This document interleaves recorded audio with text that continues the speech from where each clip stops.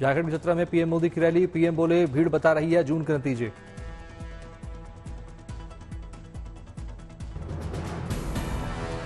PM Modi ने राहुल गांधी पर निशाना साधते हुए कहा कि शहजादे को अपनी उम्र से भी कम सीट मिलने जा रही है।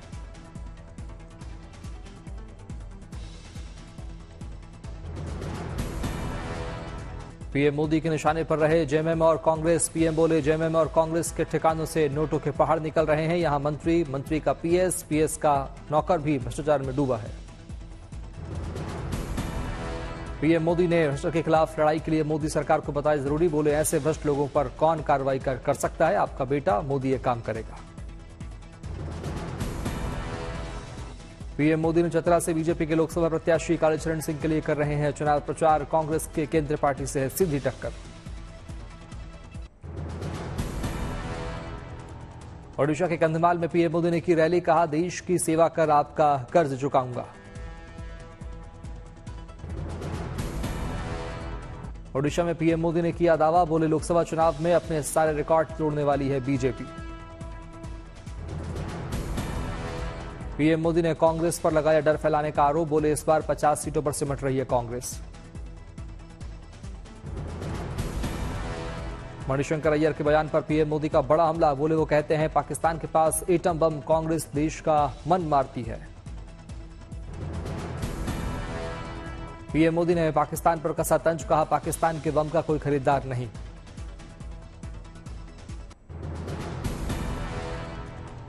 छब्बीस ग्यारह हमले का ज़िक्र करते हुए पीएम ने कांग्रेस पर किया वार, बोले कांग्रेस आतंकवाद के सरपरस्त पर कार्रवाई करने की हिम्मत भी ना कर सकी।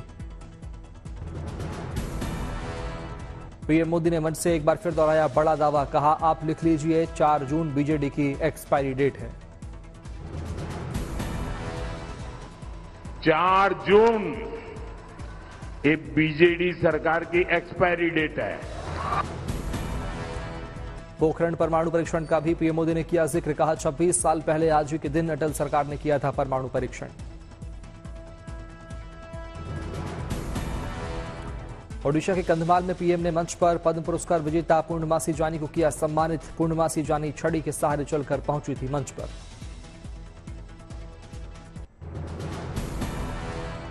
अंतिम जमानत पर जेल से बाहर आए केजरीवाल ने भगवान की चौखट पर लगाई हाजिरी, कनॉट प्लेस, हनुमान मंदिर में किए दर्शन। शनि मंदिर और नवग्रह टेंपल भी पहुँचे। अरविंद केजरीवाल, साथ में परिवार के लोग भी रहे मौजूद। साउथ दिल्ली के महरौली में दिल्ली के सीएम अरविंद केजरीवाल का रोड शो। केजरीवाल के साथ दिखे पंजाब के सीएम भगवंत मान, रोड शो में उमड़ी भीड़।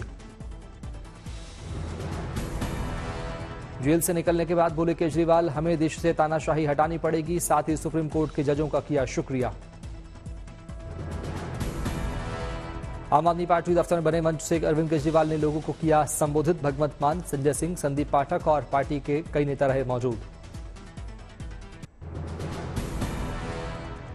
जेल से बाहर निकलने को केजरीवाल ने बताया, हनुमान जी की कृपा, कहा, आम आदमी पार्टी ही बनाएगी देश का भविष्य। सीएम केजरीवाल ने कहा, आम आदमी पार्टी को कुचलने में पीएम ने कोई कसर नहीं छोड़ी। यूपी को लेकर अरविंद केजरीवाल ने किया बड़ा दावा, कहा, अगर बीजेपी चुनाव जीतेगी तो यूपी का सीएम बदलेगा। अरविंद केजरीवाल ने पीएम मोदी पर भी साधा निशाना कहा, पीएम का mission, one nation, one leader. BJP के पचहत्तर साल पर रिटायर के प्लान पर भी केजरीवाल ने साधा निशाना, बोले, कब रिटायर हो रहे हैं पीएम मोदी? केजरीवाल के आरोपों पर बीजेपी ने किया पलटवार, कहा हनुमान मंदिर जाने के बाद भी, एक बार भी भगवान राम का नाम नहीं लिया। हनुमान जी के मंदिर में जाकर पहले प्रार्थना की। वो भगवान श्री हनुमान, जिनके हृदय में सदैव श्री राम रहते हैं, वहाँ से बाहर निकल के भी उनके वक्तव्य और पूरे प्रेस में एक बार श्री राम का नाम नहीं निकला। यूपी के सीएम योगी आदित्यनाथ ने अखिलेश यादव पर साधा निशाना कहा, जब मौका मिला तो इत्र की बदबू फैला रहे थे। योगी आदित्यनाथ ने पिछली सरकारों पर भी साधा निशाना कहा, इनके शासन में गरीबों के हक पर पड़ती थी डकैती। यूपी के जौनपुर में युवा सम्मेलन का आयोजन, उत्तराखंड के सीएम पुष्कर सिंह धामी भी हुए शामिल। अजुद्दीन ओवैसी के भाई को रोककर रखने के बयान पर नवनीत राणा का पलटवार बोली ऐसे खूंखार को हम घर में पालते हैं। बड़ा कहता है कि छोटा हमारा खूंखार है। अरे ऐसे खूंखार हम घर में पालते हैं। नवनीत राणा ने चुटकी लेते हुए अजुद्दीन ओवैसी को दी सलाह कहा अच्छी बात है दवा कर रखा है नहीं तो हमारे राम भक्त और मोदी जी के शेर गली गली में घूम रहे हैं। समझा के रखा है, इसलिए बड़े तुम्हारे आँखों के सामने है। नहीं तो आज राम भक्त और मोदी जी के शेर हर गली में घूम रहे हैं। कांग्रेस नेता नाना पटोले के राम मंदिर के शुद्धिकरण को लेकर दिए गए बयान पर गिरिराज सिंह का पलटवार, बोले, कांग्रेस पाकिस्तान से करा ले अपनी पार्टी का शुद्धिकरण।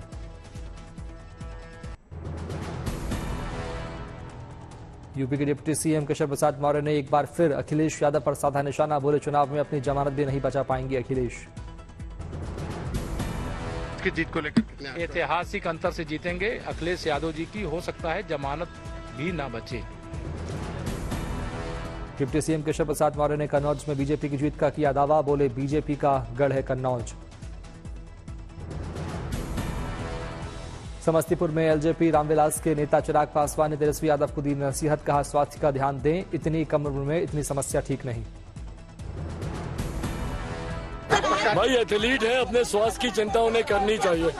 थोड़ा सा अपना ध्यान रखें इतनी कम उम्र में इतनी समस्याएँ ठीक नहीं है। तेलंगाना के चेवेल्ला में अमित शाह ने विपक्ष पर साधा निशाना इंडिया गठबंधन को बताया घोटालों का गठबंधन। बिहार में कांग्रेस को बड़ा झटका, पार्टी प्रवक्ता विनोद शर्मा ने छोड़ा हाथ का साथ। रोहिणी आचार्य ने जनसंपर्क के दौरान नीतीश पर साधा निशाना बोली, फिर पलटने की कोशिश में है पलटू चाचा। बिहार के डिप्टी सीएम विजय सिन्हा ने भी गठबंधन की बैठक पर कसा तंज कहा, पूरा भारत कांग्रेस मुक्त बनने जा रहा है। अखिलेश यादव ने ट्वीट कर, महँगाई, बेरोजगारी सहित कई मुद्दों पर बीजेपी सरकार पर साधा निशाना। बीजेपी उम्मीदवार सुब्रत पाठक ने अखिलेश यादव पर लगाया आरोप, कहा, कन्नौज में बाहर लाया जा रहा लोगों को। हिमाचल प्रदेश के हमीरपुर में केंद्रीय मंत्री अनुराग ठाकुर ने निकाला रोड शो, इससे पहले की पूजा अर्चना। हरियाणा के पंचकूला में मुख्यमंत्री नायब सिंह ने चुनावी रैली में लिया हिस्सा, चलाया हर बूथ, हर घर कैंपेन। हरियाणा के जींद में वॉक के दौरान लोगों से मिले कांग्रेस नेता भूपेंद्र सिंह हुड्डा, मांगा समर्थन।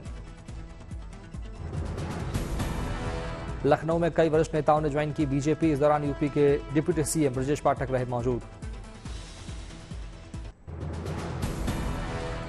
कोटा में एसपी ने दी पुलिसकर्मियों को हिदायत, पुलिसकर्मियों को ड्यूटी पर रील न बनाने को कहा।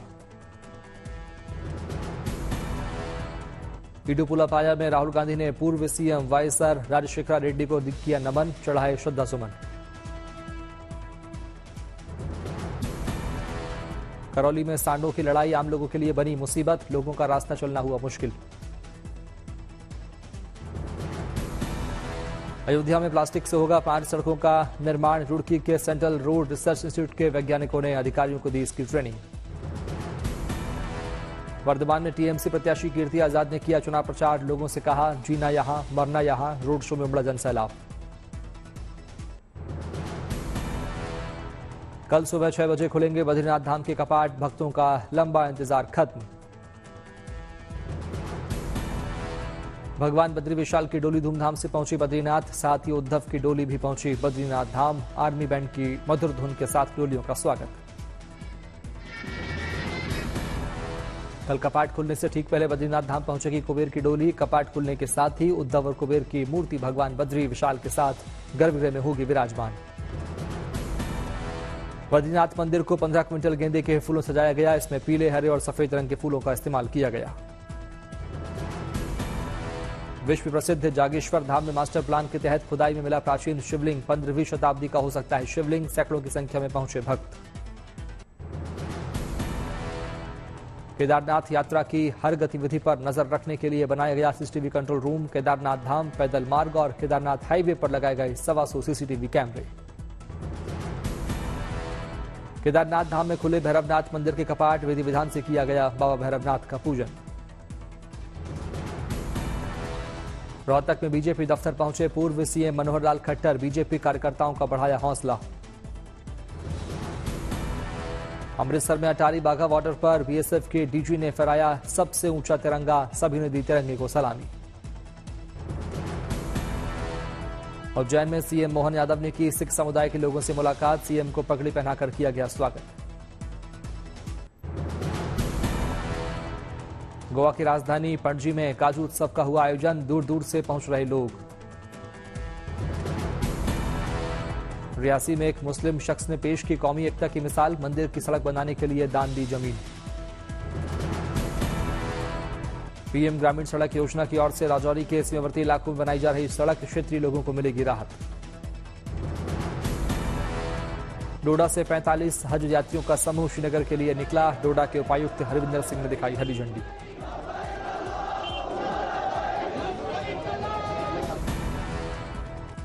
एक सौ छब्बीसवें वार्षिक ऊटी फ्लावर शो का शानदार आगाज़, लेजर, लोगों ने लेजर शो का उठाया लुत्फ। दोहा डायमंड लीग में नीरज चोपड़ा का कमाल अठासी दशमलव तीन छह मीटर थ्रो कर हासिल किया दूसरा स्थान। महिला कुश्ती में देश के लिए शानदार खबर, पहली बार पाँच महिला पहलवान ओलंपिक के लिए क्वालिफाई। ओलंपिक में विनेश फोगाट अंतिम पंगाल ने किया क्वालिफाई अंशु मलिक, निशा दैया और रीतिका हुडा का भी नाम शामिल। पैरालंपिक तैराक Sameer Verman para swing world championship में भारत का करेंगे प्रतिनिधित्व, स्विट्जरलैंड में होगा चैंपियनशिप असम के डिब्रूगढ़ में ब्रह्मपुत्र नदी के जलस्तर में वृद्धि, जिला प्रशासन राहत और बचाव के लिए तैयार। अल्मोड़ा के लिए राहत की सौगात। लेकर आई बारिश, जंगलों में लगी आग से मिली राहत। अल्मोड़ा में आग लगने से अब तक सत्तर फ़ीसदी जंगल हो चुके हैं खाक। बारिश के चलते आग शांत होने के साथ गर्मी से भी मिली राहत। श्रीनगर में लगातार मलबा गिरने से बद्रीनाथ ऋषिकेश राजमार्ग को सिरोपगढ़ के पास किया गया बंद। लोग हुए परेशान। कर्नाटक के हुबली में गर्मी का दौर जारी, बाजारों में कूलर और एसी की मांग में इजाफा। जल विद्युत परियोजना का पेनस्टॉक फटने से कांगला ज़िले के मूलथान गाँव में बाढ़ जैसी स्थिति। दिल्ली एनसीआर में बदला मौसम का मिजाज, तेज हवाओं के साथ चली धूल भरी आंधी। नई दिल्ली के कई इलाकों में सुबह हुई बारिश, तापमान में आई गिरावट। दिल्ली के आसपास के इलाकों में तेज हवाओं के कारण गिरे कई जगह पेड़। यातायात हुआ प्रभावित, नौ फ्लाइट्स की गई डायवर्ट। गाजियाबाद में चली धूल भरी हवाएँ, मौसम में बदलाव से गर्मी में राहत। गाजियाबाद शहर के कई हिस्सों में जोरदार बारिश, तस्वीरें आई सामने। मौसम विभाग ने यूपी के कई जिलों के लिए जारी की चेतावनी, आंधी तूफ़ान का रेड अलर्ट। नोएडा, गाजियाबाद, मथुरा, अलीगढ़, मेरठ और बागपत में अलर्ट। 50 से 60 किलोमीटर की रफ्तार से चलेंगी हवाएँ। नए सक्रिय पश्चिमी विक्षोभ के कारण मौसम में आया बदलाव। आज और कल बारिश की अधिक संभावना। तमिलनाडु के तिरुचिरापल्ली में मौसम ने बदला मिजाज। कई जगहों पर हुई बारिश। बेंगलुरु में भारी बारिश। केम्पेगौड़ा, हवाई अड्डे में भरा पानी। चमोली के पीपलकोटी में बारिश से बदला पहाड़ों का नज़ारा, तापमान में दर्ज की गई गिरावट। चमोली में पहाड़ों के ऊपर बादलों ने डाला डाला डेरा, दिख रहा अद्भुत नज़ारा। बागेश्वर में बारिश लगातार जारी, लोगों को गर्मी से मिलेगी राहत।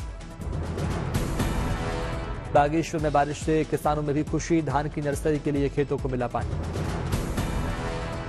राजस्थान के उदयपुर में झमाझम बारिश से मौसम हुआ सुहाना, आज और कल हो सकती है बारिश। एक्टर विक्रांत मैसी का वीडियो वायरल, कैब ड्राइवर से हुई नोकझोंक। ताजमहल के दीदार को पहुँची Miss Universe, Sheynnis Palacios, salwar suit में अपनी सादगी से जीता लोगों का दिल। पहली बार पिता बनने वाले हैं जस्टिन बीबर बेबी बम्प के साथ वाइफ की फ़ोटो शेयर कर अनाउंस की प्रेगनेंसी। आमिर खान ने फैंस को दिया बड़ा तोहफा 25 साल पुरानी फ़िल्म सरफरोज का बनाएँगे सीक्वल। मनोज वाजपेयी की अपकमिंग फ़िल्म में भैया जी का ट्रेलर रिलीज़, ज़बरदस्त एक्शन अफसार में दिख रहे हैं मनोज।